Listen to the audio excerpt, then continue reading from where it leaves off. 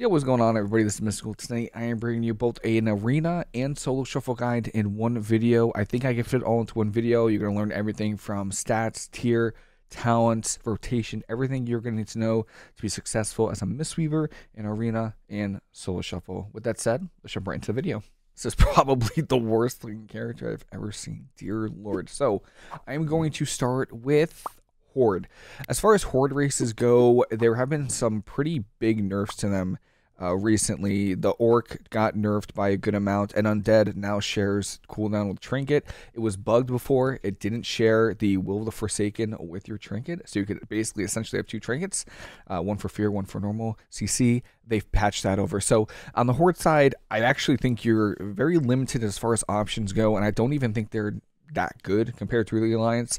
Uh, your first option is going to be Orc. I think Orc is going to be your best race as far as, you know, the stun reduction, even though it was nerfed, it's still decent. Also, the Blood Fury, the stats you get from that is also good too. So I think Orc is going to be the best horde race. Second is probably going to be Undead. Again, you it does share a cooldown with Trinket, but Will of the Forsaken is pretty decent if you use it first before you use Trinket. So if you use it on like a Warrior Fear, Warlock Fear, Sleepwalk, something like that, put your Trinket on a 30 second cooldown. It's still it's decent, so I would go Undead next. And then third, if you're just looking for a third option, Panda is decently good. The Quaking Palm and the extra verse you get from the Panda food is actually okay. so I would go Orc, Undead, Panda as far as Horde races go. As far as Alliance goes, I think you have a lot more options. There's a lot more variety into what you can play. The best race, hands down, whether it's Solo Shuffle or Arena, I believe is Night Elf. Night Elf is the best. You do get Shadow Meld, so that allows you to drop combat and drink if you're in normal Arena. If you're in Shuffle, it allows you to basically just stop a cast that's on you. So if you see a mage casting Polymorph, if you see a Stormbolt mid-air, because there is an animation on the spell. You can actually shadow meld it. You know, same thing with chaos bolts, stuff like that. You can meld it and completely uh, immune it, uh, which is really really good. It allows you to basically just get out of CC. Uh, you get a jail get out of jail free card. One small thing about it too is it drops the focus target. So some players use focus macros to CC or interrupt. If you shadow meld, it actually gets you know drops that focus frame. One little small thing, but Night Elf I think is absolutely the best race. If you don't want to go Night Elf, perfectly fine. Gnome is really good. Boomy is still a pretty good option. I'm seeing a lot of Boomy Demon Hunter as well, as well as Boomy Demo Lock and they always have that root beam. Well, Escape Artist allows you to get out of roots, and it's really good. So, you know, Gnome is a good option. You also can do the same with Dwarf and Dark Iron Dwarf, but their cooldowns are on a two minute cooldown, whereas the Gnome ratio is on a one minute cooldown. So you can get out of every root beam with Gnome, but Dark Iron Dwarf and Dwarf gets rid of curses on you. So, you know, annoying curses from warlocks. Monks don't have a curse to dispel. So this gets you, you know, one dispel on those curses. And then you also, I believe the dwarf makes it so you take less physical damage, and then the Dark Iron Dwarf gives you stats for every single debuff that you dispel with it. I would mostly lean towards Dark Iron Dwarf just because those stats are nice, and we have a relatively easy time getting away from melee, so I don't think that melee damage reduction is that necessary. So Dark Iron Dwarf, I think, is, would be better than Dwarf.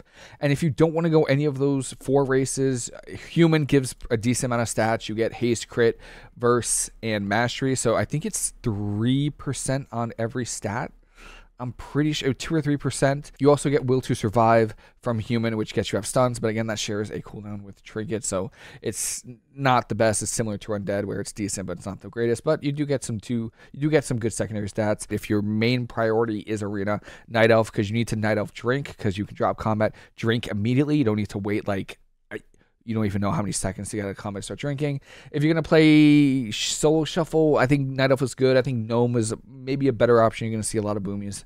Um, you can also deal with you know mage roots and all that. So Gnome, Night Elf, Dark Iron Dwarf probably gonna be the top picks if you're playing Alliance. All right, so now that you have leveled up your Mistweaver and you want to start gearing, your stats are going to be versatility, mastery, haste, crit for both arena and solo shuffle. Previously, I, I played haste verse. and I thought it was pretty good, but with damage being so high, I think you need the extra healing from the mastery to really help keep your team alive. As far as embellishments go, they don't really change from season to season or patch to patch. The number one thing you want to be using is precog. So this makes it so when you juke a kick, you are immune to CC interrupts pushbacks for four seconds. So this gives you four seconds of breathing room. Thank God Ms. Cassimus Weaver needs it. And then the second embellishment, I like to go blue silk and lining, which makes it so when you're above 90% health, you get a 624 mastery, which is fantastic because we want mastery.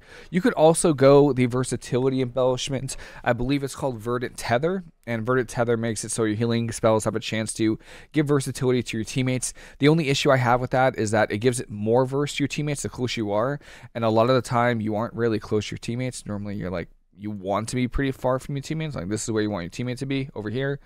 Um, so you're gonna give them less verse. And then the second is that most players are at versatility cap. So as soon as you get to 30% versatility, you start to get less verse for each point. You get, I think it's like 10% less verse um, if after you're 30%. So most players are playing around 30% first. So I just don't think you get a lot of value out of the that embellishment. So I've been playing Precog and Blue Silk Lining. I recommend playing both those. I think they are fantastic embellishments for casting Mistweaver. Next, we have the Mistweaver tier set. 100% you want to play our two sets. So what it does is whenever you use your Renewing Mist on somebody, they take increased healing from your spells. It is heavily nerfed in PvP. I believe it is 15% in PvP, uh, not 50. Sadly, I, w- I wish it was, but yeah, it's only 15% healing, but it's still 15% from all your healing. So that's why you want to keep your renewing mist out, and I'll explain in the rotation. Uh, going over that. As far as our four set goes, it's cut in half in PvP. It makes it so 10% of all your healing you do to whoever has that renewing mist buff is stored and then dispersed evenly among your allies with renewing mist uh, when chi harmony fades or is refreshed. I personally do not play four set. I know a lot of Mistweavers do, and I think it is fine. The only problem I have with the four set is that the stats on the gloves and the legs and the helm are absolutely terrible. Um, it, going over our stats, crit is the last stat that Mistweavers want. So I the helm has crit verse, the gloves have crit verse, the legs have crit mastery. So I just think you're kind of losing a lot of stats. Now again, a lot of Mistweavers play four set. So if you want to play like the other Mistweavers, that is perfectly fine. I would recommend playing four set. It does roughly maybe two to four percent of your healing eh, that's really good. I just don't like. I like being able to stack verse mastery. So I just go. If you're just gonna run two set, I would go shoulders and chest, and then I run Verse Mastery Helm and Verse Mastery Gloves, as well as Haste Verse on the legs. Overall, if you want to take a look at what my gear looks like, I can go through it. My helm is the Conquest Verse Mastery Helm. My neck is the Verse Mastery Crafted Neck. Torc of Passed Time. Shoulders and chest are both the tier pieces. My cloak is Verse Mastery from the vendor. I actually think I kind of want the 489 cloak, but this still Verse Mastery. I think this is more Mastery, so I kind of like it. Wrists are Verse Mastery as well, which is also from the Bloody Token vendor. My gloves are Verse Mastery Conquest. My belt is actually from PVE. It is Verse Mastery, but I think you get Verse Mastery belt from the the um, Bloody Token vendor. This just it just had a socket in my vault and it was 49 M level, so it's insane. My legs are haste verse. Again, I try to get to about 26% haste. I really like uh, having a good amount of haste. My gloves are haste verse as well with precog on them. And then I have a ring with haste mastery just because you know 29% verse is good enough so why not get more haste and mastery? And then i have a ring that's haste verse as well.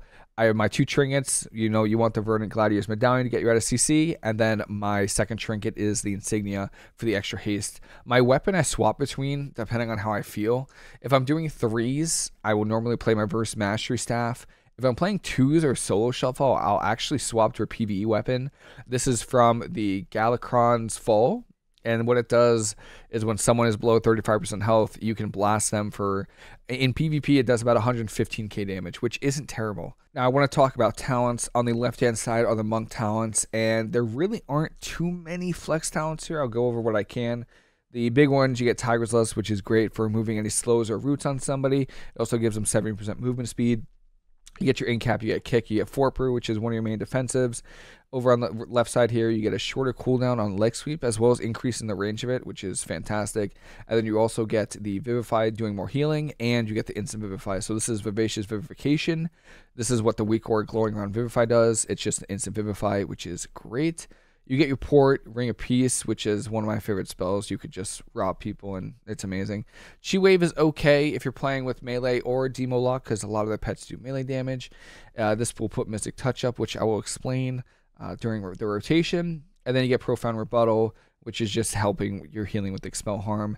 And then you make, your way down, and then you have your Jade Serpent statue. So on the left hand side, there aren't many flex points. It, theoretically, if you think you're not going to get targeted, you could drop Grace of the Crane, but the extra 8% healing is really, really nice. Um, if you wanted to move those two points, you want to do more damage, you can put it into Rising Sun Kick damage, which is fast feet. Mistweavers, we are notorious for not having any damage, which is too bad. But if you want to be able to totem stomp against Shaman, or if you feel like you'll be able to, if you think a team's going to be on top of you, you know, it's a small map, maybe you could play fast feet, which is perfectly fine. But for the most part, Grace the Crane, you could also put one into hasty provocation, which makes it so provoke targets move at you 50% faster, which is actually pretty good because you want to taunt CC. Again, that'll be in the tips part of the video. Uh, towards the end, I will go over some tips for playing Mistweaver. But that is that is the pretty much the left side of the tree. Nothing too crazy. On the right hand side are the Mistweaver talents. This is where things get a little bit interesting.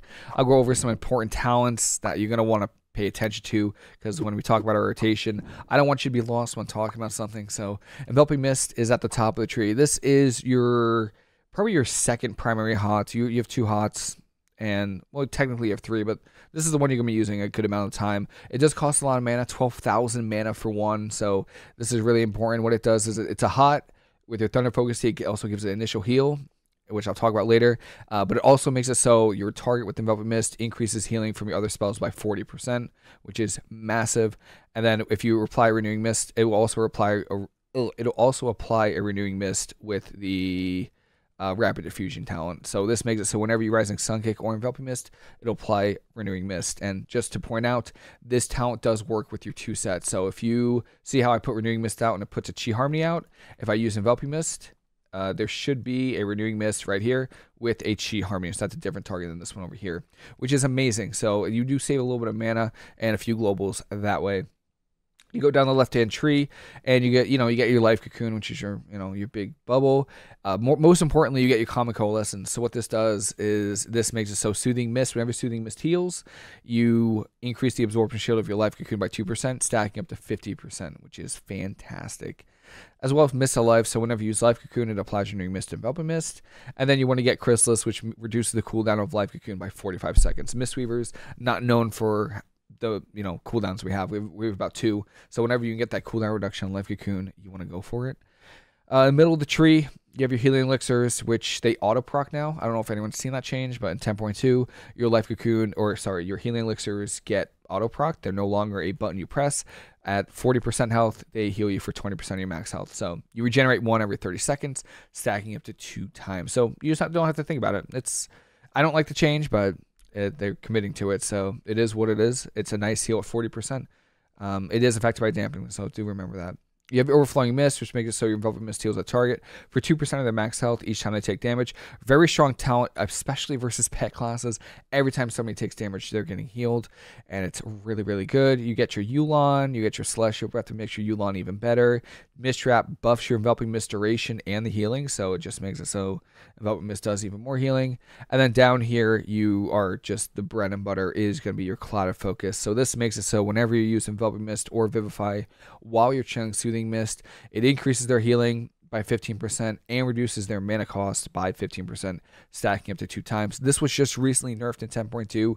Sadly, it is it was not a good nerf. Mistweavers have been hurting for mana and healing, so it, it only stacks up to two times now instead of three, and also gives less mana reduction and less healing. So very unfortunate, but that's still the this is the this is the whole bread and butter of the Cast of Mistweaver rotation. This just gives you short Yu'lon. Resplendent Mist makes it so your Gust of Mist has a 30% chance to do 100% more healing. I'll explain our mastery after this, but our mastery is just basically an extra heal every time you use Vivify, and Enveloping Mist, or Renewing Mist or Expel Harm, so that's amazing. And we come down here to Serenity makes so Thunder Focus Tea empowers two additional spells, and Thunder Focus Tea is one of the most important spells in our toolkit. I will go over it in hugely in depth uh, during our rotation, but you're going to want to use your Thunder Focus Tea as efficient as possible. And then the final most important part about this right hand tree is peaceful mending. So whenever you you're soothing misting a target, they receive 50% more healing from your Velvet Mist and renewing mist effects. So if I have a renewing mist on myself, it's gonna be doing a certain amount. If I put renewing mist on my teammate and I start soothing mist them, that renewing mist is going to be doing much more healing than what my my um renewing mist will be doing. I also don't want to forget Mana Tea. So what Mana Tea does is for every 25,000 mana you spend, you gain one stack of Mana Tea and you actually get a chance to generate one based on your critical strike chance to generate an extra stack. Whenever you consume one stack of this Mana Tea, you get 3,600 mana back, and then for every stack, you get your spells cost 30% less mana for that many seconds. So if you consume five stacks of Mana Tea, you get five seconds of 30% mana reduction on your spells, which is just amazing. So I what I have five stacks of Mana Tea right now. If I consume them, I get five stacks. I get five seconds of Mana Tea, which you really cannot waste this Mana Tea. Any point during an arena, if you don't heal efficiently, you're gonna run out of mana. So just keep that in mind. Don't want to waste it. Always try to make sure you're not going to get kicked when you have your Mana Tea up. And that's pretty much a tree. Oh, one last thing I want to note is Invigorating Mist because I feel like it doesn't get a lot of value and I feel like people kind of unutilize it. But whenever Vivify heals a target, anybody that has Renewing Mist on them also gets healed by it. So what that means is if I have Renewing Mist on this guy right here and I have Renewing Mist over here and I heal this guy right here, everyone's getting healed from Vivify which is fantastic. So, I just another reason to keep renewing mist out on as many people as possible. You have your two set, you have your vivify healing, you have invigorating mists. It is very, very, very important. All right, next we have PvP talents. Mistweavers actually have a good amount of PvP talents. So I'm going to go over the top, I think, five talents that you're going to want to go with, and then give you some scenarios of what you're going to want to play into what. So, first of all, Peace Weaver you're you're never you're pretty much never swapping out a Peace Weaver. So what this does is Restore's cooldown is reduced by 50% and provides immunity to magical damage and harmful effects for two seconds. So Restore makes it so when you are so when you're stunned, this is one of our main cooldowns, you can heal everybody and it clears them of harmful poisons and diseases. And this interacts with Peace Weaver. So when if you're stunned, you can still use this and everyone gets the buff and they are immune to CC. Anything ma- anything magical damage, CC, it doesn't matter. So you're never really swapping out of this. It's too useful versus too pretty much everything has magic damage or CC. So for example, Hammer of Justice from Ret Pallies, you could use Restore to immune a trap, to immune a cyclone, to immune a blinding light or repentance follow up. So anything like that, you can do it to immune damage from like a Destro lock or Demo lock or whatever they're playing with. So again, keep that in mind. Peace Weaver immunes all magical damage, CC, anything magical for two seconds. Time it right, and you'll get a really large heal, and then you'll also be able to immune any CC on yourself and your teammates, which is amazing. The next up is Zen Sphere. So was a little weird about Zen Spheres. I like them. The issue I had was that at first it cost no mana and now it costs like 1200 mana, which adds up over the course of the arena. And then they also cost the GCDs. So it's just like, I feel like sometimes it's awkward. I feel like Mistweavers are so like, if you're not pressing a button every global, you're to lose. And Zen Spheres kind of adds that. But I talked to some other Mistweavers and they highly recommend playing Zen Spheres. I've been playing it since and it's helped tremendously. So, what Zen Spheres does is you have two different spheres that you can put on people. You can only put one up, one of each up at a time. So, you have Sphere of Hope, which increases your healing done to the target by 15% flat out. And uh, the good thing about Sphere of Hope is I don't actually see many teams trying to purge it. It is purgeable, so keep that in mind. But I put Zen Spheres um, on myself or my teammate right here. So Sphere of Hope receiving 15% additional healing from the monk. This stacks as well. Remember when I talked about Enveloping Mist? Whenever you have Enveloping Mist on somebody, they take 40% more healing from your other spells. And then you also have your Force set that makes it so they take 15% more healing from you. So you have 15%, 15%, 40% from your other spells besides Enveloping Mist. So it's just it's just crazy. You just have so many things that add up for your healing. And then you also have Sphere of Despair. So targets deal 10% less damage to you and take 10% increased damage from all sources. So that includes your teammates. Now, one small trick that you can do, it's not really a trick, it's just something to keep in mind, is if you're being tunneled, right? Let's I did this. I actually did this the other day. If you're playing like twos and you're playing it's a Resto Shaman Arms Warrior and the arm shirt arm shop the Arms Warrior is running you down, put Zen Sphere on them. They do 10% less damage to you just by you keeping it up. And the shaman can only dispel once every eight seconds. So I'm not saying just sit here and spam Zen spheres, but if you're kiting, you know, the warrior well and you're playing far away and they connect to you, put a Zen sphere up, right? They're doing 10% less damage to you and then start healing. Because that 10% less damage can add up over the course of an arena, help you with mana, help you stay alive. So these two talents are 99% of my games, you're playing these two talents. Uh, it's a third one that really changes depending on what you're queuing into. Um, so the first one is Eminence. What Eminence does is this makes it so you could use Port while stunned, and then the cooldown is reduced by 15 seconds if you're if you don't Port while stunned. And I'll show you a little trick with that as well. So you could Port while stunned, which is amazing. Um, use it to avoid CC. So if you're playing against RMP, where you know obviously Rogue Mage they cheap shot into Poly, or if you're playing you know RMD, you know cheap shot into Cyclone, you can immune or not immune, you can avoid the Cyclone or the Polymorph, which is fantastic. Um, it's really good for being able to get away from people if they're trying to target you. Just because being able to port while stun is amazing because they the melee have a choice. They can either use the mobility to get to you, or waste it because you could port a second time with Escape from Reality right here, and then they can't get to you. So they'll just probably most of the time they'll swap off you if you're playing Eminence. Um, so keep that in mind. Use it when you know versus RMD. Cupid, where they have the Hodge trap or intimidation stun trap, stuff like that. Where holy pallies are also really good because what they'll do is they'll try to HoJ you into blinding light or HoJ you into repentance. You can just if you time eminence right, you'll be able to avoid CC, which is amazing. That's the beauty of Mistweaver. The next one, Counteract Magic, which I feel like is super underrated, but I think it's freaking amazing. I don't know why more people don't play it. I love it. So what this does is whenever you dispel a a dot, a magical dot from somebody, they take 10% more healing stacking up to 3 times. So if someone dots me and there's 3 dots on me and I dispel, that's 30% increased healing. And there's also a bug. I don't know I don't know if Blizzard doesn't know about it, but if you diffuse magic with like five dots on you, you actually get like you can you can get up to like six stacks of counteract magic, which I don't think Blizzard knows about, but it's a really really good talent. I play it versus Shadow Priest and Balance Druids. Oh, and Ele Shaman. Those are the three because those are you obviously want to dispel those dots. So if I'm gonna dispel, I might as well also get increased healing for it. So also one little tip: instead of playing Restoral, play Revival. The difference is that Revival you can't use while stunned, but this will dispel magical debuff. So if you're playing against Boomies, Ele Shaman, Shadow Priests, and you, eh, I would play normal Revival and then play Counteract Magic. The normal Revival will dispel those magic dots, and then everyone gets like 30% extra healing for like I don't know what 10 seconds. It's it's fantastic. It's amazing. I love it. So Counteract Magic, super underrated, not used too often. I love it though. Really really good talent. Um, don't miss. I, I want to love it, but it just doesn't get enough value. Maybe you're playing twos and you queue into, you know, Mage Shadow Priest, Mage Priest, uh, it's just not getting enough value. Healing Sphere is just so sad. Zen Focus Tea, So this makes it so you are immune to silence and interrupts for five seconds. Again, a very, very good talent against casters or you know or hunters with range kicks right? So mages, Shadow Priest, Boom, you have silences. But so if you could time it right, you can gamble and try to get it. But sometimes they will, they'll try to just they'll normally cover you. They'll normally stun you into like a silence or like stun you into root beam. So um, not really too useful for that. But again, versus the mages versus any you know hunters is pretty good.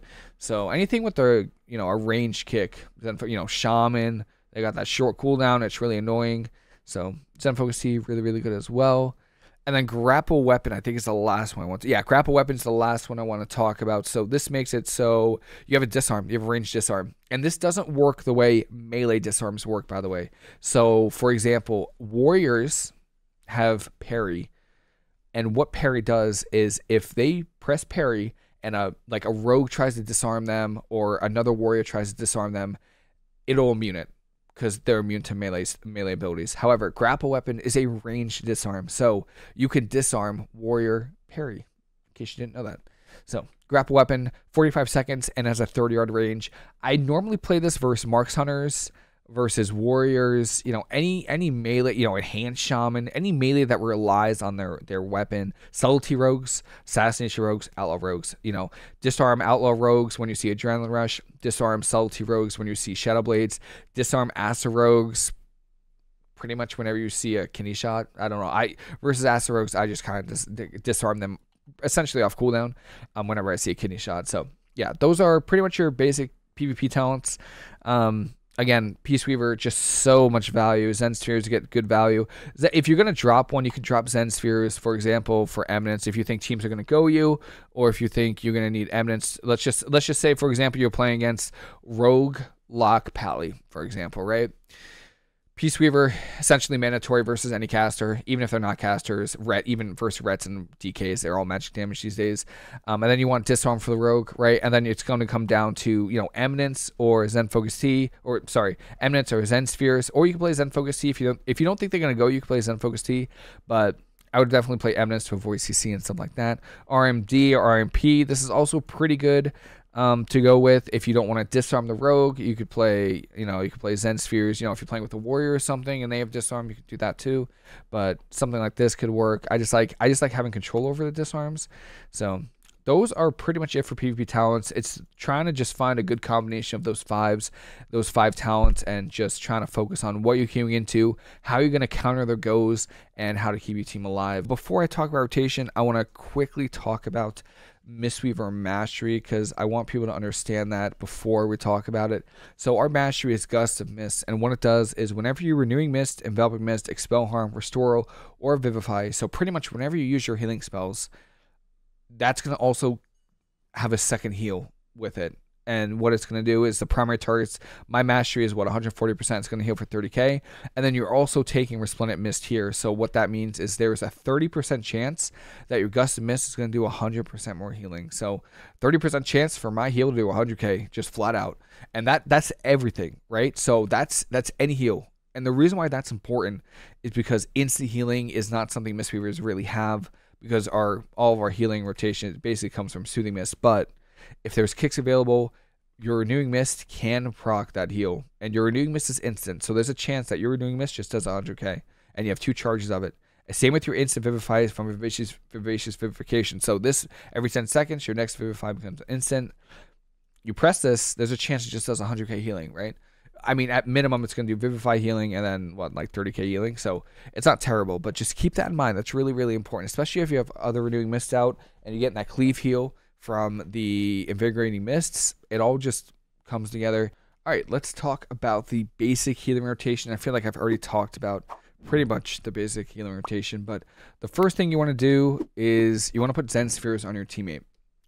You know, you could you could put it on the enemy too, but the, let's just with the basics here. Let's put Zen sphere on our teammate. They get 15% more healing from you. The next thing you're gonna want to do is you want to put your renewing mist. And again, there's a lot of reasons you want to do that. It's gonna do it's gonna put your two set on them, so they're taking 15% more healing.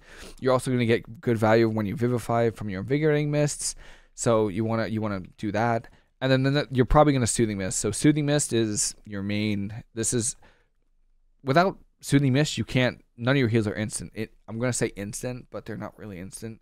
Um, like for example, if you just press enveloping mist, it has a cast time, right? And so does your vivify. But when you use your soothing mist, it's they're instant. So and then you get stacks of Clouded Focus. So always keep your renewing mist out. Always put it on at minimum your main target, but you have two charges of renewing mist, so you want to put it out on as many people as possible. You always want renewing mist to be recharging, and then from there you're just going to soothing mist vivify. I mean, and then you get stacks of Clouded Focus increase the healing of your of your envelop mist and vivify, and then also reduce their mana cost. And that's the basic of the healing rotation.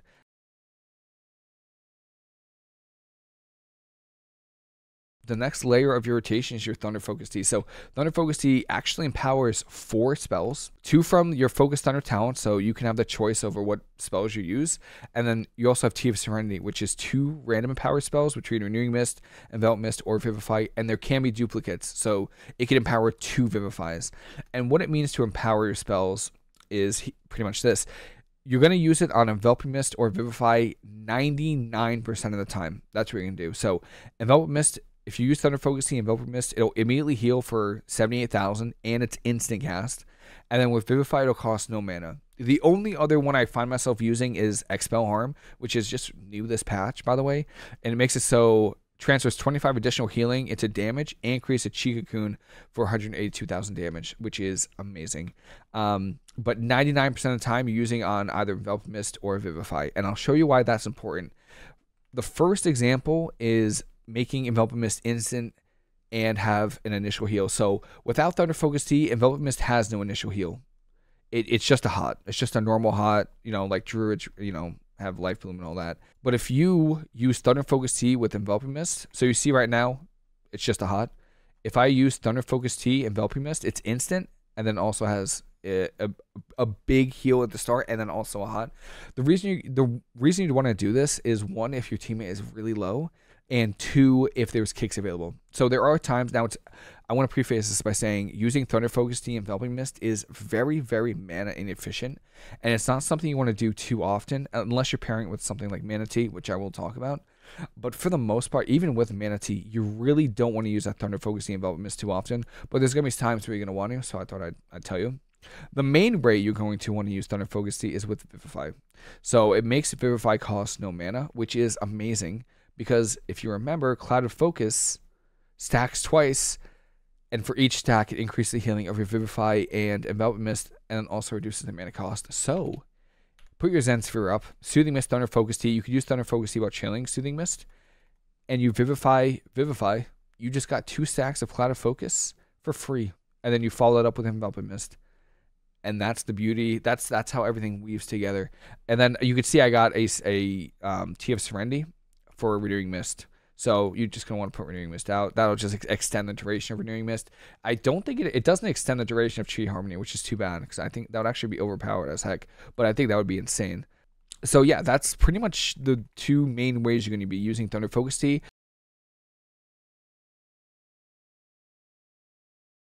Mana Tea, I explained earlier. What it does is every 25,000 mana, you get a stack. You also get a chance, depending on your crit, we don't really stack crit in PvP, to get another stack of Mana Tea. For every stack you consume, you get a one second buff that reduces the mana cost of all your spells by 30%. And this stacks with Clouded Focus. So, 30% mana reduction, and then you have mana reduction from Clouded Focus from two stacks. So, Right now, my Envelop Mist costs 12,000 mana. Pretty much the name of the game, little mini game, what I'm trying to do is to make Enveloping Mist cost as little mana as possible because it's your best heal by far. It's going to be your number one heal by far. So, what you're going to do, Zen Sphere up. We're to try to incorporate Mana Tea now. Uh, we're going to take a few stacks at a time. We're going to use our Soothing Mist, Thunder Focus Tea, Vivify, Vivify into Enveloping Mist, and our Enveloping Mist costs 5,800 mana. So, from 12,000 down to 5,800 over 50% mana reduction on your Envelop Mist just by doing rotation correctly. One little small trick with Mana Tea as well is I try to I try to consume between four to five stacks of Mana Tea um, at a time, depending on obviously how much damage is going out. But you kind of need to be able to predict the future if on Mistweaver because you don't want to be caught trying to consume Mana Tea while the other team is like using combustion, like using their big cooldowns. So try to use it when like try to predict when the damage is incoming, but just do your best. Pretty much, it's not easy to do, you know, and it, it's just some mana is better than nothing, right? So again, what you're gonna want to do is you're gonna consume your Mana Tea. You got your Zen spheres up. You're gonna soothing mist, thunder focus tea, vivify, vivify into an enveloping mist, and boom, you have 5,800 mana on your enveloping mist, which is fantastic. The last thing you want to incorporate into your healing rotation is Yu'lon. So what Invoke Yu'lon does is you summon her, and she will heal other people for a little bit of amount. But the most important thing is she will put a hot on somebody after you enveloping mist them, and then make it makes it so your enveloping mist costs fifty percent less mana, which is great, and that stacks with your other mana reductions, which is crazy. That's crazy good. Um, she also puts a chi uh, cocoon out on people so right here in Celestial Harmony at the bottom, when activated, Yu'lon and Chi-Ji um, will apply Chi Cocoon to five targets, absorbing 182,000 damage, which is great. It makes the global a lot easier. I just wish she was off the GCD, but the little Chi Cocoons aren't bad. I'm not mad about it. Um, so again, when, while she's active, your enveloping mist costs 50% less damage. Sorry, costs 50% less mana. What you'll try to do with Yu'lon is you're going to try to get your Mana Tea stacks out Yu'lon, get your two set out, and then just start going to town. So keep your Zen Sphere up. You're going to Mana Tea, Renewing Mist, Yu'lon, Soothing Mist, Thunder Focus Tea, Vivify, Vivify, and your Enveloping Mist costs 2,940 mana, which is just crazy. All of that just because you get your Clouded Focus stacks for free using your Thunder Focus Tea Vivifies, and then your Yu'lon makes your Enveloping Mist cost 50% less mana. All that healing, cost what three percent mana. Um, try to consume between five to six stacks of Mana Tea before, and you should be fine.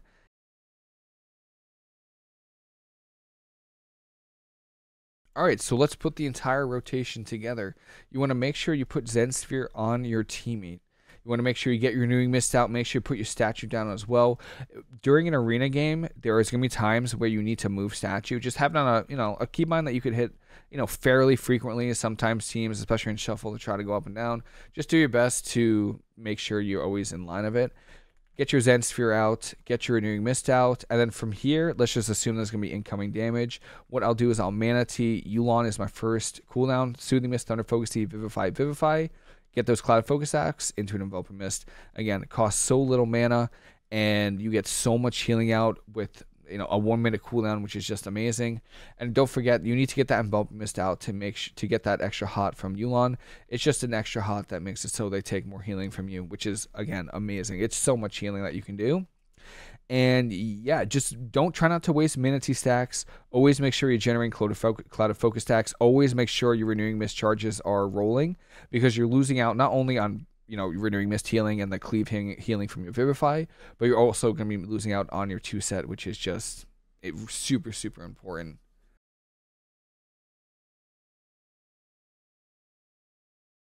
Next, I want to talk about instant healing, which again you don't really see. you know, in the same sentence as Mistweaver, because again, we we need our clouded focus healing from our soothing mist. It's very important. But I just want to tell everyone about what you can do if you need instant healing if there's interrupts available. So this is completely if interrupts are available. If teams are targeting you and let's just say, you know, you've used your mobility, right? You're out of mobility, your team is doing a great job healing for you, but obviously you need to keep healing even though you're getting peeled. There's some things you can do to keep yourself alive. So again, put Zen Sphere on yourself. More importantly, put Zen Sphere on one of the people that are hitting you. That way they do 10% less damage to you. From here, you could use your Renewing Mist to get the Renewing Mist healing as well as the Mastery healing and then you get a chance for a, you know 100k heal from your mastery or more for crits. And from there, you have Yu'lon, which again, if you pair Yu'lon with like a Thunder Focus Tea, you know, Mana Tea, Enveloping Mist, still does a ton of healing. It doesn't do as much healing as if you have Cloud Focus stacks, but healing is healing. And then you also have Expel Harm, which gives you a Chi Cocoon, you know, 212k Cocoon, uh, Chi Cocoon probably affect. It's also affected by Save Them All, right? Because Save Them All is our talent here that makes us do more healing, and it, I just heal the PvP army. So I think on average it's about 180k shield, which is really good. So you get a heal from your expel harm and 120k, 180k shield, and then you also have the instant vivify from Vivacious Vivification every 10 seconds. So and that cool that always keeps rolling. So you could have theoretically like two instant vivifies, uh, pretty close to back to back. I don't have the internal timer. Um, I, it probably could be good to have the weak aura for it. I think there's a weak aura out there. I don't really use it, but could be good. Could be useful to have that.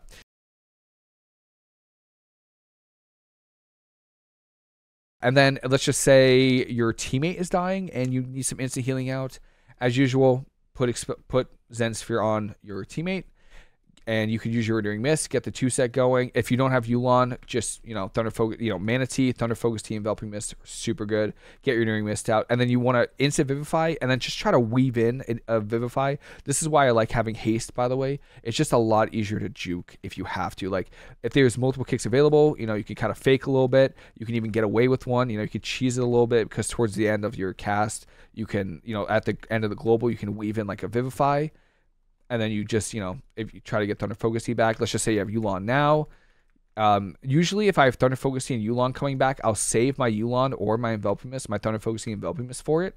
That way, I always have that guaranteed hop from the Enveloping Breath that makes it so you know they take 10% more healing from me, which is uh, amazing.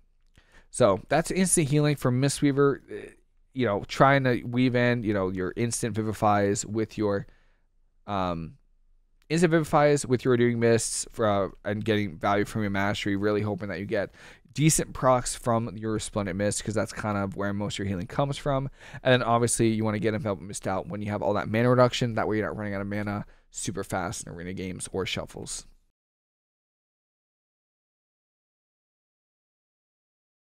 Next up, we have cooldowns. and I kind of want to talk about our healing cooldowns, and I'll talk separately about our defensive cooldowns. But as far as healing cooldowns for our teammates, we have we have, we have a little. You know, we, we, we have some, we have about one or two.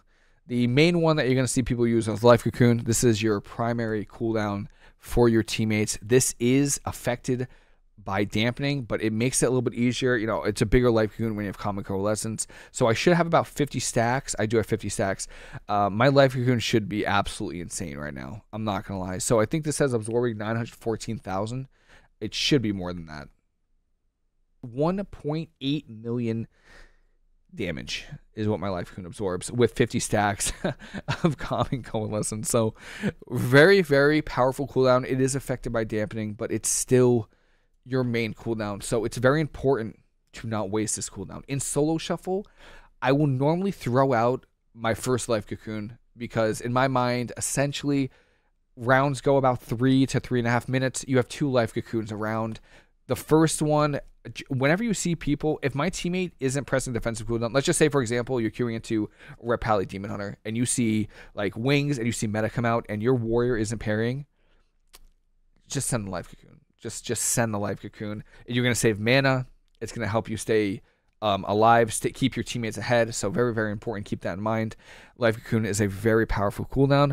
You know, a minute what minute twenty cooldown, minute twenty um, cooldown on it. So it's not terrible but you know you don't want to waste it because that's kind of all we have. And then the I you know I talked about Yu'lon. This is a healing cooldown. Obviously, it's it's an active cooldown, but you don't get value out of it if you get CC'd on it, right? So if you press Yu'lon and then all of a sudden you're trapped and then you're like stunned off, you get no mana reduction, you get you know no healing bonus, you get nothing. So you want to get value out of your Yu'lon. Try not to waste her. It is a one minute cooldown, but she it's very important. It's it's mostly that mana reduction that's really really crucial for keeping you know yourself not running out from running out of mana. The next cooldown is Restoral, which I talked about. So this one, I play Restoral 99% of the time because you could use it while stunned, and you have talents like Eminence where, you know, you could port while stunned. So, you know, you have a lot of things you could use while you're stunned, which is great. Immune damage, immunity CC with the Restoral. It doesn't work with Peace Weaver. Um, I do use normal revival that can't be used while stunned versus Affliction Warlocks, Shadow Priest, Ele Shaman, Boomies, anything with dots. Really, really uh, important. And then that's kind of it for your teammates. That's kind of Mistweavers lack in the defensive department when it comes to having team having cooldowns for their teammates. Um, but those are the main ones you're gonna be rotating. The most important thing when it comes to Mistweaver cooldowns is to not overlap them. You cannot, and I need to repeat this. You can whether you're playing normal arena or solo shuffle, you cannot overlap these cooldowns with your own cooldowns or your teammates' cooldowns. It's it's really that simple. You will lose. It, it, really is that simple. If there's one go where I need to use Restoral and Life Cocoon in the same go, I'm, it's uh, it's over. Like I, I got nothing for that. Uh, I got nothing, right? And then I would uh, just make sure you're always trying to space them out. Whenever you queue into an arena, shuffle doesn't matter. Have a plan. You know, if there's a Fire Mage on the other team and like an Arms Warrior, just know what you're going to be rotating, right? So you know, Combustion, you're gonna play. You're gonna press Restoral. You see Avatar, you're gonna press Disarm if you you if you were in trouble, your teammates in trouble, press life cocoon. You know, something like that. Or maybe you're playing with the shaman, the asher, something. Just you cannot overlap cooldowns, or it's you just you don't have enough cooldowns to to like help you with that. Especially if the team is able to get CC on you too. You're just gonna fall behind and lose. Defensive cooldowns are the next thing I want to talk about. We actually have more defensive cooldowns than than cooldowns for our teammates. So the first cooldown I want to talk about, let's see what we want to talk about first. Diffuse Magic. So this, I forgot to mention in the normal talents, but Diffuse Magic and Yu'lon's Grace are kind of interchangeable. I kind of like Yu'lon's Grace versus anything, you know, magic caster uh, like that. I like to use Diffuse Magic versus anything that's like um, magic dam, like melee, like DK's Rets because I can line up my diffuse magic with their cooldowns. I like Yu'lon's Grace because versus casters because it's just a shield I can have on me. They can't really swap to me, which is amazing. So those are kind of interchangeable. Diffuse magic though can't be used while stunned. Gives you 60% damage reduction for six seconds. And actually, no, it's definitely nerfed in PvP. Yes, 40%. I was about to say they just nerfed all our defensives in PvP. So it's 40% dam- magic damage reduction for six seconds, and you reverse anything, any dots in you back to the original caster. So, for example, what I'll do a lot is versus Affliction Warlocks. I'll use Diffuse Magic when I have an unstable Affliction on me, and it reverses that UA back to the Warlock. It, it does a decent amount of damage, which is nice. Um, it, actually, I'm not to lie, versus Affliction Warlocks, Yu'lon's Grace might also be good because you can dispel UA and you have the shield on you, which is nice. But that's besides the point. Diffuse magic, use whenever you feel like teams are gonna be swapping to you. Try to use it before stunned. Um, if you, as soon as you get out of stun, diffuse magic can also be handy. Um, if I'm ever playing against like DK Ret, you know, or Ret Demon Hunter, and teams are guarding me, what my first global will normally be diffuse magic, Thunder Focus to expel harm into like maybe a Mana Tea Instant Velvet Mist because you get that nice heal from Expel Harm. You also get the Chi Cocoon, and then you also get the Instant Velvet Mist from the Thunder Focus Tea. So very very good little little button to have. You also have Fort Brew. I meme about this a lot, and it's because it's really bad, but it's a six minute cooldown. Let's let's just six minute cooldown. You can make it a four minute cooldown as well if you play um, Expeditious Fortification. But in solo shuffle, you're you're only using it once around anyway, right? So it doesn't really matter. I'm, I'm just gonna go with the stronger Iron Shell Brew, which gives you more armor and dodge chance. So I'm just gonna use it. And in a, a normal arena, you could probably get away with the four four minute cooldown, but most teams don't really go you anyway. So I just go with the stronger one. Um, so use this again. This lasts 15 seconds. So um, what I'll try to do is I'll try to use this if teams are going me and they're about, they're gonna try to stun me or if I'm trying to delay their go. So like if there's a rogue mage on me and I don't have port, let's just say like I, I use my port last go and you know the rogue mage is tunneling me down, I'll use Fort Brew because it lasts 15 seconds and there's a chance it just delays their go. Or they kidney shot into Fort Brew and for the most part you'll live. You know, if you get a Thunder Focus to expel harm, you get that shield and you get the damage reduction from Fort Brew and the health increase. It's actually you should be able to stay alive with it. The next thing, it's not really defensive, but Ring of Peace really good for just literally anything. This is an interrupt. This is moving teammates out of position, enemies out of position, anything like that. Good spell, really good for like making extending the pillar, so you can just kind of ring around the rosy, make the make it difficult for melee to try to get to you. Just play the game, try to figure out how you like to use Ring of Peace and use it. It's a really really good spell. Uh, I'm trying to figure out any more defensives. Obviously, you have your port. This is probably the best defensive that you have, believe it or not, on the shortest cooldown, which is amazing. Don't forget with Escape from Reality, you get a second port, and then it increases the you know, the healing you do to yourself with Vivify, and gives you mana back. So don't waste your port either. You know, use it to avoid CC. But if you feel like teams are gonna go you, try to save it, and then you can port twice, which is a fan fantastic. I think there's one more defensive I'm forgetting, but oh, dampen harm. Yeah, of course. Dampen harm. So this reduces all damage you take by 20 to 50% for 10 seconds. So this is longer than diffuse magic, shorter than fort brew. This is good because it reduces the larger attacks on you by more. Really good versus you know Destro locks, arms warriors, anything that's just super hard hitting. You know, full moons from from um, balance druids. They're for like 400k, so stuff like that is really really good. One little tip is that dampen harm. You could use it while you're kicked. So if you get kicked on Soothing Mist, expel harm. So if you're getting trained, bait out a kick, dampen harm. It's really good if you could use it before a stun too. It's very very nice. And I think that's pretty much it for defensives. Uh, you know, I talked about restore and all that. Use that while stunned. And yeah, those are your defensives. Try your best to not overlap them either, because again, you do have a few of them. But there's a chance, you know, if you got none left, you're dead. I mean, that's, you know what I mean? You could die in a storm mode if you got nothing up you got no port or anything. Next up, we have macros. And I'll this part of the video, I'm gonna try to you know try to take my time and try to talk about some macros I have for anyone that might be new to Mistweaver who might want them. I have macros for dash 13 and 14. This is pretty much so if I ever change my trinket, it'll just change on my bar. That's pretty much it. I mean, there's nothing else to it. It'll change on my bar. That's it. You don't need to drag your, your trinkets onto your bar after this. Just macro them and you'll never have to change them again. This is a macro. This is just my mount macro. Arena 123, so, you know, everyone has, you know, their way of CCing. I like to use a one Arena 123 macros. That's just how my brain works. So I have incap 123. I also have disarm 123 somewhere. Oh, disarm 123 here with grapple weapon. So that just helps me a lot. Um, this macro makes it so you could swap Song of Chi-Ji and Ring of Peace and not have to you know swap them on your bar either. I don't know if they've ever changed it. They probably did, but you know you could use Ring of Peace and then you can spec into Song of Chi-Ji and not have to worry about dragging it onto your bar. Stuff like that is pretty good. Drink macro. So this makes it so I cancel my Yu'lon because I feel like Yu'lon keeps me in combat when I, you know, when I'm trying to get out of combat. But I use mana. I use the mage drink, uh, you know, whatever the mage food is, and then delicious dragon spittle as the drink.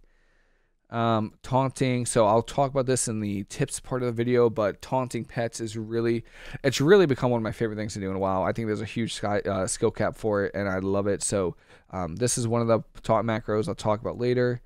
Um, invoke macro. So this is just a toy. When I Yu'lon, it makes things red. It makes my statue red with big red ray gun. 90% of PvP is just looking good while you're doing it. You know what I mean? um, kick one, two, three. This is a focus macro, and then arena one, two, three for, or yeah, arena one, two, three for kicking. Again, I just have that. This is a macro for leaving the arena. I actually get a lot of whispers because the dash clap. I don't know why. I've I, I've had this macro forever, and I had, I've always had dash clap at the start, and I get whispered about like emoting, and I always forget why because I don't emote people, and then I I realize it's because I have this macro, which I don't know why I still have it there, but it's it gets people mad. It's kind of funny. Uh, Life Cocoon macro. I say this every single. I've been saying this in every video since I started making guides. Um, please use this macro. This is like the most important macro that you can have. Uh, this makes it so you can't accidentally life cocoon somebody that isn't there essentially. So you can't accidentally cocoon yourself when you when you know your target's mind controlled. You can, if you're doing RBGs, you can't life cocoon somebody that just died. Like there were a lot of times in RBGs where I'd be targeting somebody, oh they died. Let me press life cocoon. Oh, I'll life cocoon myself. Like you know, and then you just waste life cocoon. So please use this macro. Please take this macro. It it is amazing. And then I have a bunch of toys macroed into it. Don't you don't worry about the toys. Um, um, if you're orc, Blood Flurry, Blood Fury with Mana Tea. It's pretty good. It's not, you know, not terrible, but um, this is actually from this is from Shadowlands. I can actually delete this. Poor Kevin. I used to have to cancel Kevin too. These are mouseover macros for PVE. Party one, party two, party two dispel. Any, no matter what, you always want these macros. This will help you dispel things a lot quicker. Your DPS will love you. Then they'll probably hate you after you lose the round, but they'll love you the brief second that you dispel them quickly. Um, pretty much it for macros. Oh, Rising Sunkick macros. So this is this is like this this is really good. So this makes it so you can essentially not have to target anybody while you're fist weaving or if you're doing damage. So if you do damage to somebody and then you need to target a teammate, you could still Rising Sun Kick or Tiger Palm or Blackout Kick. Like I could just target nothing and do damage. Um, so keep that in mind. Uh, pretty good macro. I have that for Rising Sun Kick, Blackout Kick, and Tiger Palm. Um, statue is just a cursor macro, so I just at cursor. I don't just one less click really. Um, Tiger's Lust one two three. This is really important. Please, uh, the I think Tiger's Lust is very like underutilized. It is one of the best buns that you can use for anyone, for yourself or your teammates. So this will get them out of root slows. Uh, it's very min maxy, but I would recommend it. This is party one, party two, and then for yourself. Todd, I tried so hard to make Todd work, but it actually just sucks. This one doesn't even work. Um, Todd just never wants to work. Uh, target target of for Chi Wave and for um, for Chi Wave and Zen Spheres. So these are the two macros I use for target targets. What this does is this will use Chi Wave on the target of my target. So if my this guy is targeting the PvP dummy and I Chi Wave, this will hit the PvP dummy. This guy's also targeting the PvP dummy. I don't need to target the PvP dummy. I just put Zen Spheres on a dummy. So this is really good because this will put Chi Wave. This will use Chi Wave or Zen Sphere on whoever your teammates are targeting, which is fantastic. Because I don't I don't want to put Zen Sphere on an enemy that no one's hitting. Um, because I want that that 10% damage done uh, bonus to them. So very very good macro to have. tyrannical. I do have a Tiger's Lust Tyrannical, or sorry Tyrant macro um, because that little guy is slow. It's for demo. I play with a lot of demo locks, pretty much. So that's why I have that. Um, no, this one I can actually delete this macro. This is from BFA. I don't know why I still have this macro. Disarm one two three. Um, and then yeah, those are those are my macros. Oh, and then this one people like. I don't really like it that much, but this is a world marker. Um, you need to be the you need to be the leader of your group, but this will put a world marker at your location um, when you transcendence. So if you have a hard time, you know, if you're new to Mistweaver, you have a hard time tracking where your report is, you just put a marker down, a big world marker down, and then it'll show you where it is. But I don't really use them. Um, just try to keep track of it, and you should be fine. Add-ons. So I'm not going to go through all my add-ons. I have a whole video going over them, but the main ones you're going to want to use are Diminish is probably the big one. So Easy Frames is just my UI, but Um, Gladius X. So Gladius X is really sick now. I downloaded it because I got tired of Omnibar, and this is what I do with Gladius X. I don't use anything except for this right here. I track interrupts with Gladius X because Omnibar was destroying my frames, destroying my action bar, even though I swapped to Blizzard frames or Blizzard action bar. I got so annoyed. I looked for anything, and it actually works really, really well. So Gladius X, really good for just tracking interrupts. Um, and then, yeah, there's really nothing really else to it. FrameSort puts me on the bottom of groups. Mm, nothing really else. Nameplate cooldowns, nameplate auras. This is what shows like you know, CC above targets right here, and then the cooldowns I used. Um, Omni CD tracks my teammates' cooldowns. And then, yeah, I think S Arena PvP scripts on my own scripts. If anyone's interested in my own scripts, you can, I can upload them. But right now, they're just local on my computer. I, I don't think people are gonna want my scripts. I kind of have my own. I have my own UI that I don't think many people would like. Like I, I have at the start of the video, I have numbers. Like I don't have float. I don't like floating combat text. I think it, it's distracting. So I don't think many people, many people want to use them. And then S Arena is the big one that shows like that's the arena frame, right? This is it's like the main uh, arena frame. So, um, and then obviously weak auras. I make a lot of my own weak auras. I would say ninety 95% of the weak auras you see on the screen here, I made myself. There's just some PvE ones that I copied because I'm too lazy. But as far as PvE goes, yes, I do make all of these weak auras. If you need a weak aura, let me know. If you want to know any of my weak auras, they're in the description. I am. You don't have to pay for them; they're free. It's all yours. You don't. You know, I'm not going to gatekeep weak auras. So, if you have any question about that, let me know. I'm more than happy to go over them, make one for you, anything like that. They're all yours. And now we've gotten to the tips and tricks part of the video. I'm going to do my best to just go over whatever kind of comes to my mind. There's really, this part of the video really isn't structured. I'm just going to try to rapid fire as many things as I can. The first tip I would give you is to please macro taunt and put it on your bar. Taunt or provoke is the one of the best ways you can break CC. It has a pretty high skill cap when it comes to timing it, but if you could use, uh, there's also another macro I use. This is a more generic macro I would recommend over the other one. Um, this one will taunt Arena 1, 2, 3. This will break CC on you. It will literally break CC on you. I have had games where I taunted so many hunter pet, hunter traps from their pets that they swapped to diamond ice because they didn't want their traps getting broken, which is insane. I, I couldn't even believe that shovel game. Um, so please, you use it. Use that macro. Try to taunt it's an eight second cooldown. Use it off cooldown, and try to get a trap, you know, or uh, you know a poly. You can taunt water alley for poly. Anything. Try to just try to break any CC with it. The second thing is your your port. So, you know, you have two ports with escape from reality, right? Now I don't know if this is a bug. It might be, but it's been in the game since Shadowlands, so I use it. If you use a port and you have escape from reality buff and you get kicked, let's just say you get kicked while you have it up, you could use your second port to get away. Okay. Now you didn't hear it from me, and I definitely haven't been using it for the next for the past few years. but when they patch, I'm gonna be sad. But until that day, you could use your second port from Escape from Reality while you're kicked. Speaking of getting kicked, you could use Dampen Harm while you're kicked. Okay, so if you're getting trained, I will sometimes like if I'm at like 100% health and I have dampen harm and I see I'm starting to get off Sundiar and they're gonna want to I see Stormbolt or Kidney Shot, I'll try to get kicked and then I'll dampen harm. And then normally they'll like Stormbolt into it or Kidney into it, and then normally you're fine, which is great because after the lockout, maybe you could port and all that, which is great. Next tip I would recommend is your Calming Coalescence stacks. So in Shuffle, this happens more in normal arena than Shuffle because most of the time in Shuffle people just like go straight in, but it doesn't happen every time. Soothing every time you soothing mist, the absorber of your next life cocoon is increased by two percent. This counts your your Jade Serpent statue soothing mist. So you're here. Can I just cancel the stacks? All right. So without my statue, I'm going up one stack at a time, right? One stack, four, five, six, seven, eight. Okay. Put my statue down and I start channeling soothing mist. It's going to go up two, four, six, eight, ten. So if there's a team normal arena, shuffle, doesn't matter. That's like the arena just starts and they're just hiding behind the pillar. They're like, they don't know the strat they want to do. Please take advantage of that time to get a 50 stack life cocoon.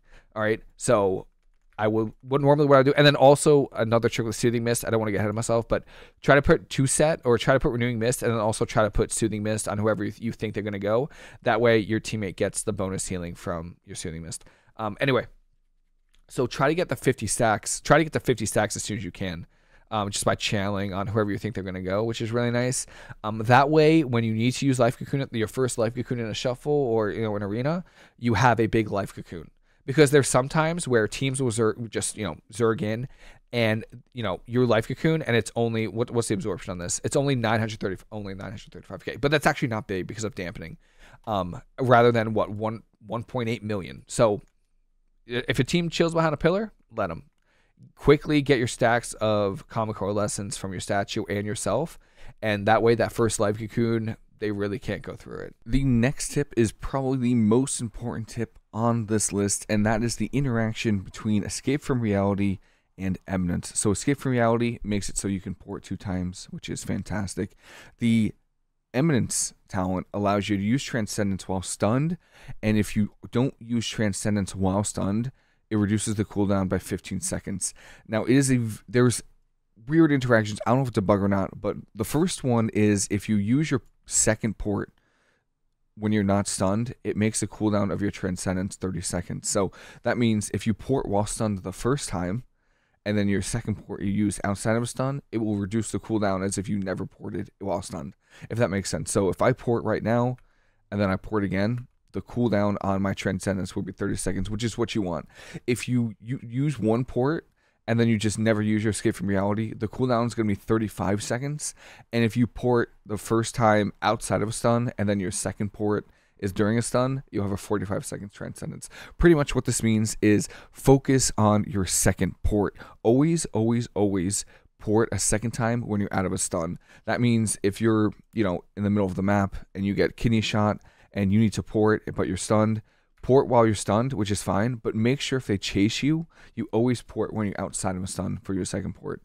That way you get the 30 second cooldown on your transcendence transfer rather than 35 seconds if you don't use escape from reality or 45 seconds if you use it while you're stunned. A passive that Mistweavers have that I didn't really talk about is Mystic Touch. And that's because we don't really play with melee these days because it's kind of hard to heal double melee. But you will be, obviously, in Shuffle, you will be paired with melee DPS. And what this does is whenever you do damage to somebody, they will get a debuff called Mystic Touch where they will take 55%, not 15, 5% increased physical damage. So if you're playing with a warrior, feral druid, even a demo lock, because a lot of their pets are melee, you uh, want to try to maintain Mystic Touch. It is not a permanent debuff either. I think it lasts 15 seconds. I think it's a monk passive. Um, I think it's, I'm pretty sure it's 15 seconds, and you want to keep refreshing it. Yeah, it's 15 seconds. And spinning crane kick, you know, chi wave is pretty good. Um, Crackling Jade Lightning, anything like that, really really important for getting that that um that passive out. So just try to be as min max as you can because every little bit matters in solo shuffle. When it comes to getting silenced, kicked, anything like that, do not panic because there's a lot of buttons that you can use to peel for yourself, your teammate, stop CC, anything. So a good example is when you're root beams from a boomy. Sure, you could just spin around in a circle when you're root beamed, but you can actually do stuff. The biggest thing is you can incap and you can leg sweep. So if the boomy is close enough to you, which sometimes they are, sometimes they come out of stealth and like they're like right on top of you, you can incap them when they're trying to cyclone you, and then you can sweep them if they're close enough. You could also Shadowmeld if you're Night Elf. So that should get you out of any follow up CC. Um, now, if you're silenced or anything like that, and there's other, you could also disarm. So if you're playing against a Boomy Warrior, you know, uh, Shadow Priest Warrior, you know, anything Shadow Priest melee, Boomy melee, you could also disarm the melee. So what you'll see me do when I'm root beamed and I'm like not on my gnome is I'll first of all I'll try to look for anything I can incap. I'll try to incap a DPS that we're not hitting. If that's not an option, I will try to disarm the melee DPS. Um, this that way this you slow that you slow their damage and you can you can stop any follow up CC on you. If you want to make Death Knights hate you, the first thing you're going to want to do is to put your statue down and hold your globals. Get your hots out when you can. But what the Death Knight go looks like is they're going to try to hit somebody, try to hit this guy right here, and they're going to try to grip the healer, which is you, into them. Don't let that happen put your hots out. Try to stay far away. When you get gripped, you could port mid grip, reset your port, and when they do use their second grip, you can port again. This will infuriate many Death Knights because you completely negate their go. Because instead of having a cleave go, they have a single target go, and it makes it a lot easier for you to heal it. If you're ever in a situation where you need to dispel a an affliction warlock's dots, which I've seen a few of them, but I haven't seen many of them, you could use Zen Focus Tea to immune the silence, which is kind of nice. So what you'll see me do sometimes. Obviously, depending on the situation, but I'll Zen Focus Tea, diffuse magic myself, so I'm not silenced. I'll probably use like a Thunder Focus Tea, uh, expel harm, and then I'll dispel somebody else's. If, if I have to, you can dispel theirs, and you don't get silenced for any of that. You take the damage, but you won't get silenced. Revival can be used while you're drinking and won't put you in combat. So a little trick, especially since this season where you're going to be going for drinks quite often in normal arena, what you could do is you can port, right? Shadowmeld, start drinking. Revival doesn't put you in combat. So you could revive if your team gets low and then go back to drinking and you're fine. So I've used this so many times, so many times in arena where teammates, like the enemy team, thinks I like I'm back in combat because they see revival, but I'm actually not because it doesn't put me in combat. I mentioned it earlier, but disarm can do two really important things versus hunters and warriors. The first thing is our grapple weapon does not count as a melee disarm. So when a warrior parries, normally what they'll do is they'll try to parry at the same time they're using burst cooldowns is sometimes and they'll try to immune disarm from like rogues and other warriors. They cannot do that for grapple weapon. Your grapple weapon does not work like that. So if you see a parry coming out from warrior and they also have it like using, you know, avatar at the same time, you still disarm it, which is fantastic. With hunters, they cannot kick if they are disarmed. So, if you're queuing into a BM hunter or a marks hunter and you're playing, you know, grapple weapon for let's just say Trueshot or something, and they press Trueshot, even if they don't have it, and you need to get some healing out, you could disarm them and then free cast because they can't kick you. The final tip is how to deal with Salty Rogue Shadowy Duel. Now, for those of you who don't know, Shadowy Duel makes it so they take it's just the rogue and their target, but AoE spells work in Shadowy Duel for targets that aren't inside of it. So, what that means is you could use spells like Revival, Chi, the Chi Cocoon from Yu'lon counts as an AoE spell. So, you could use Restoral, and you could also use RoP and Leg Sweep. So, when you see a rogue use their shadowy duel, you'll see it a lot in solo shuffle. They're gonna try to get a trinket so they can smoke bomb the next go, or they try to smoke bomb, get a trinket so they can shadowy duel. If you see the shadowy duel come out, just know, just find your teammate. You know, obviously, uh, try to get out of CC. Find your teammate. Normally, the first thing I'll do is I'll press revival if I have it because that goes through Shadowy Duel, obviously, and it makes them immune to mag- to magical damage. And then I'll try to sweep or leg sweep if I if I'll try to sweep or Ring of Peace on top of my teammate, depending on where they are. If I'm if they're too far away from me at the time, I will just Ring of Peace on top of them. And if I'm close enough to them, I will sweep on top of them. And that is normally enough to be able to get them out of CC, and then I can maybe like throw a renewing mist, you know, and use like a Thunder Focus Tea Enveloping Mist on them just to get some quick healing out once they come out of duel. But keep that in mind. AoE spells go through Shadowy Duel. You can use Revival to immune the hunt damage and dot. So I don't know if this is known or I don't see it used too often, but whenever you see the hunt being casted by the demon hunter, if you press restore while they're midair, it will completely negate their cooldown. And it's really, really good because most of the time it'll line up with the hunt. Try to use your restore to immune that hunt damage and dot, and that will completely negate a lot of their burst damage. Finally, positioning with the Warlock. It actually just so happens that there's a Warlock right here. I find a lot of people struggle because their Warlocks always die, and they I've seen it in Monk Mondays and in Shuffles. The most important thing you can do when you're playing with a Warlock, and he takes his port away, is to play on their port. So what I'll do is I'll put my port on my Warlock's port, and then let's just say, for example, this is the Warlock port. You want to position here. You always want to position between the Warlock and your port and their port always. That way, when they port, you're still able to cast and it doesn't cancel your soothing mist, which means it doesn't cancel your soothing mist stacks. So keep that in mind. Always try to get the mentality of staying positioning between the warlock and their port. And my last tip for Mistweavers and for PvP in general is to just have fun and enjoy it. The most important part about playing video games is to enjoy it. Mistweaver is hands down, don't let anyone tell you differently, the most fun spec in the game. Whether we're good or bad, I will be playing it. A lot of other people might be playing it, but I will always be playing it. It is so fun to play. Try to find people you enjoy playing with, and you will be PvPing a lot more.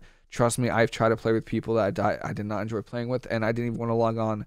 But if you find people you genuinely enjoy playing with, or you find a game mode that you enjoy doing, stick with it, and you will quickly learn Mistweavers and PvP. And that is all I got. That is it for the Mistweaver guide. I don't know how long this video is, but I normally try my best to. This is the only type of video I try to ramble. At. The other types of videos, I try to just get it, you know, I try to get to the point as much as I can, but uh, this this video I do try my best to just try to talk and you know give people um, any you know tips, tricks, anything like that. And if if there's any tips or tricks you know that I don't, please, I would love to know. So that is it for me. Hope everyone has a fantastic day. Hope we enjoyed the guide, and I'll see you later.